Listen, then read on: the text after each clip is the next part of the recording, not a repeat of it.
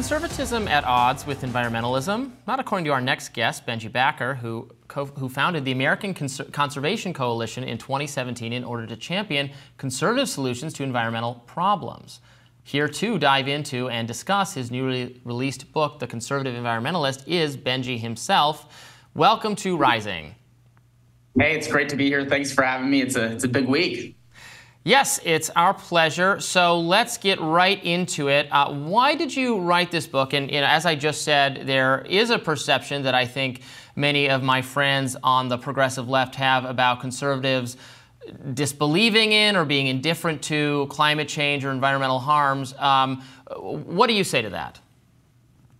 Well, in recent history, the narrative is absolutely different than what it used to be. In the 1980s, 90s, and early 2000s, Republicans were the ones who actually led the nation's biggest environmental efforts. I talk about this early on in the book, and you can all you can also look all the way back to Teddy Roosevelt. I mean, it was Republicans who led the creation of the EPA, creation of the Clean Water Act, creation of the Clean Air Act, and they were the champions. And they worked with Democrats. It used to be a nonpartisan issue. Today, it's become part of our culture wars once again, just like every other issue. And when Al Gore made the environment a issue that he campaigned on and won on in, in 2000, the right decided to run the other way.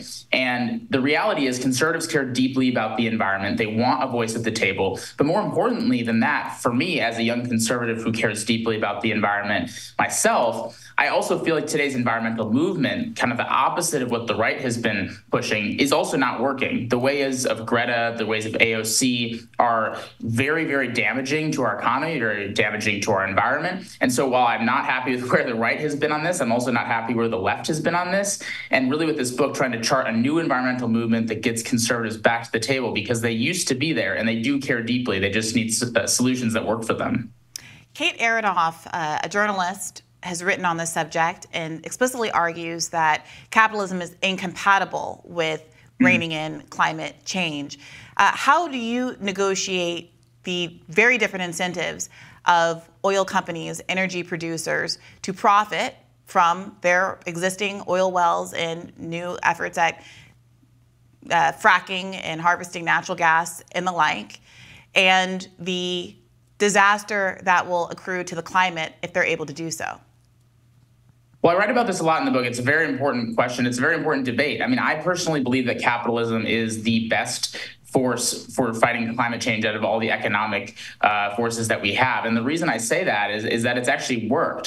We you look at the countries that are reducing carbon emissions the most in the world, and it's the countries that actually have some of the freest economies, the most stringent governments in the whole world. You look at China, you look at uh, Russia, you look at uh, Venezuela, those countries are rapidly increasing their emissions, while countries like the United States and countries in Scandinavia, which actually have surprisingly very free economies, they are all reducing their emissions. And the reason that is, is not because oil and gas companies are sitting on the sidelines and saying, all right, guys, we're giving up. It's because capitalism creates technology and innovation to allow us to be sensible on the environment without hurting our pocketbooks. When the government tries to shove things down our throats, it ends up just increasing costs and being very hard to implement. People want to avoid that. And the government doesn't know how to solve these things better than the, the private sector does. So we have an opportunity here to not, it's not to say that the government doesn't have a role in this. I'm not saying that at all. What I'm saying is that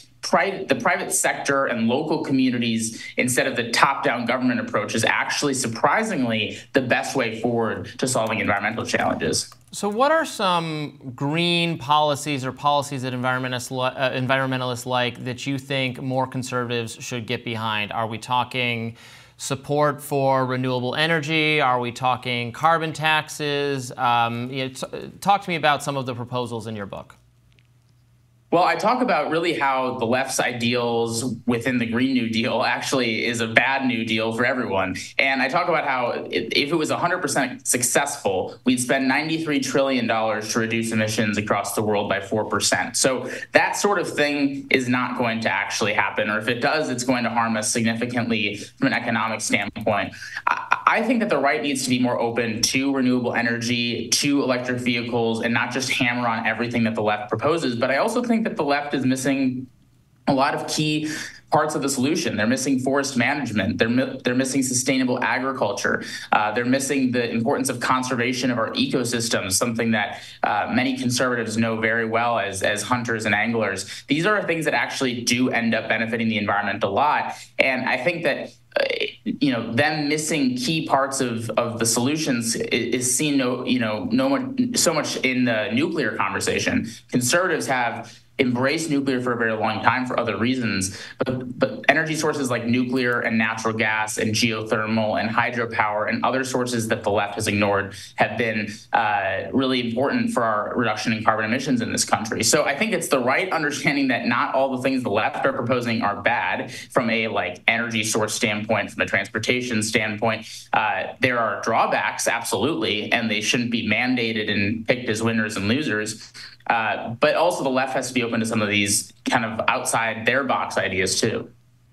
You mentioned that your view of how this has become a political issue is that because Al Gore ran on climate change, the Republicans ran in the opposite direction. My recollection of uh, burgeoning adult at the time is that Republicans have been against climate change for my entire sentient life don't you think it was a little bit of an oversimplistic read of how conservatives came to embrace energy um, as a priority and fossil fuel extraction as a priority? And what do you see as the role of lobbyists and special interest groups in influencing the Republican Party's direction? Well, I, think that that's actually a, a, huge misconception that Republicans have been deniers of climate change for a while. I mean, Republicans were the ones who created the National Climate Assessment for the first time. We had a National Climate Assessment for the first time, multiple times with a Republican president. The first treaty internationally, uh, the uh, Tokyo Protocol, um, that was signed into uh, by a Republican president in the international conversation with the UN. So Republicans, and that, those were George H.W. Bush, that was Ronald Reagan. We had true Republicans leading on this, and it was not something that, that, that Republicans denied.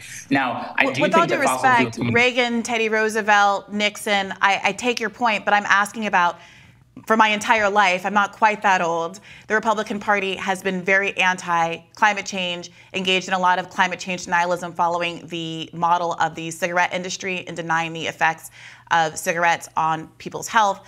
Literally opened that same playbook and played it all the way through. So, again, I'm, I'm really curious about this question of what you see as big moneyed interest as affecting the direction that the Republican Party and some Democrats for sure have taken on the tension between climate needs and the financial needs of those industries?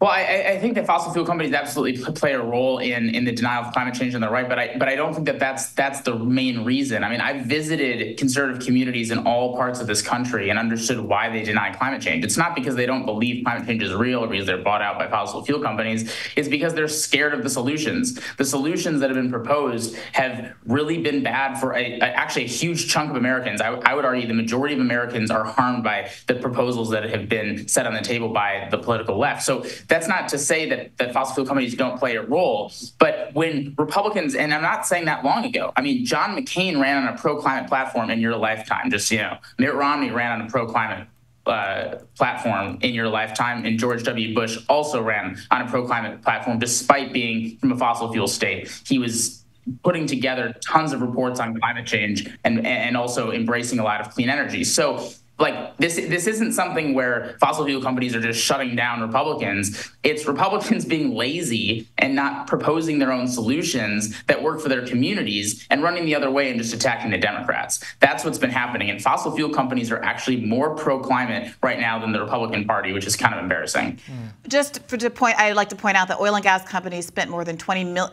$20 million on lobbying the Republican Party members in the 2024 election cycle alone. I do think it's worth following the money in matters such as this uh, more I than. Mean, the renewable yeah, companies and the and the EV companies are doing the exact same thing. I mean, eh, that's how our that's how our democracy is set they up. They don't have. They're not spending.